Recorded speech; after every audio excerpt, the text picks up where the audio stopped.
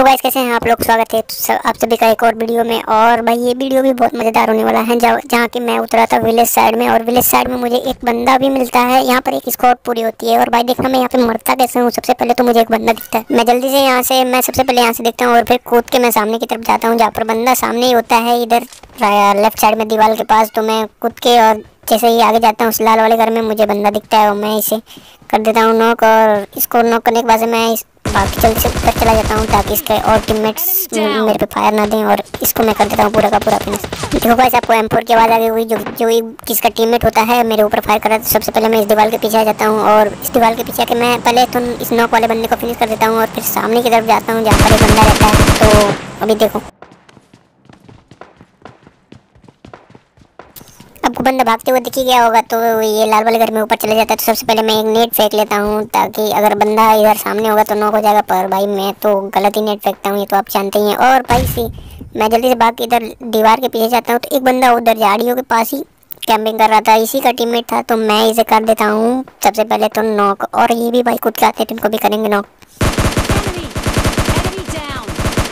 अब इसको जैसे ही नॉक करता हूँ इसका बंदा भी ऊपर से कूदेगा ये ऑफकोर्स कूदेगा और बचाने के लिए आएगा तो इसको भी हम कर देंगे कर देंगे नॉक इसको ट्वेल्व के से करते हैं नॉक और भाई इसको फिनिश करने के बाद मैं भाग के जल्दी से उधर चला जाता हूँ क्योंकि इसकी एक टीम के पास होती है आरपीजी और भाई देखो मैं आरपीजी से मरूँगा कैसे ये देखना बस।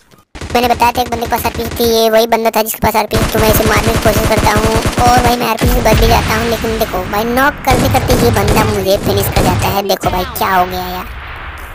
वाले गेम में मैं उतरता हूँ ओल्ड बसिन में और ओल्ड बसिन में मुझे एक भी खेलने मिलता है तो मैं जल्दी से बाकी इस वेयर हाउस के पास लाल वाले घर में आ जाता हूँ, जहाँ से एक बंदा बहुत ही देर से फायर कर रहा था। तो देखो, मेरे पास ए डब्ल्यू एम थी मैंने ड्रॉप में से लूट ली थी और हम जाके यहाँ पे गाड़ी रोकता हूँ और गाड़ी रोक कर अंदर जाता हूँ। ऊपर एक बंदा नेट कर रहा होता है तो सबसे पहले तो उसको हम करेंगे।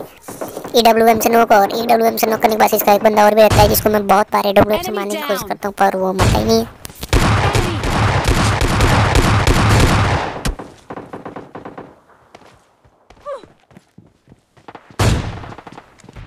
देखो वो काले वाले बंदे को तो मैंने मार नहीं पाता हूँ तो मुझे एक बंदा ये दिखता है जिसको मैं इजीली डब्ल्यू एम से कर देता हूँ। फिनिश और बाईस के साथ मेरे हो जाते हैं तीन यहीं पे और एक को मेरा टीम मार देता है पहले से इस टोल के उसके पास थी और तो इसको मार के मैं बगेट करके सीधे इधर आ जाता हूँ। उल बसिन के साइड में जो इधर राइट वाला घर होता है इधर दो घर होते हैं वहाँ पे आ जाता हूँ सबसे पहले तो। इधर ही सर्किल बना था तो इधर ही आएँगे। देखो सामने दो बंदे होते हैं तो सबसे पहले मैं डाउन से मारने की कोशिश करता हूँ पर मिस हो जाता है और दूसरा शॉट में ये बंदा हो जाता है नोक और फिर हम करेंगे यहाँ पर इस बंदों के बंदों के ऊपर रस और भाई जानते हो यार जब रस करना है तो नेट वेट तो फेंकेंगे ही तो जाके सबसे पहले जब दौड़ के इधर जाते हैं और नेट हाथ में लेके सबसे पहले एक फेंकता हूँ जिससे डैमेज पड़ता है। और दूसरे वाले नेट से एक बंदा नोक हो जाता है। और देखो